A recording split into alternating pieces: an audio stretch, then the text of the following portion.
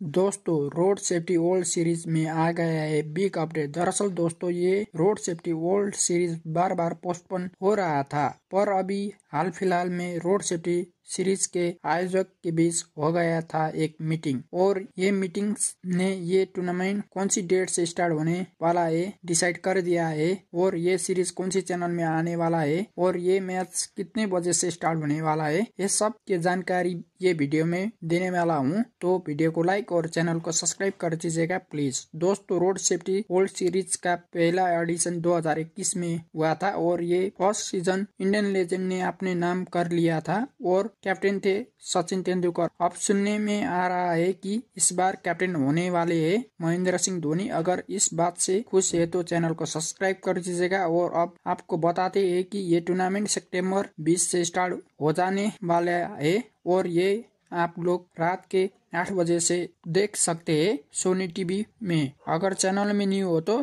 Channel को subscribe कर दीजिएगा, प्लीज़।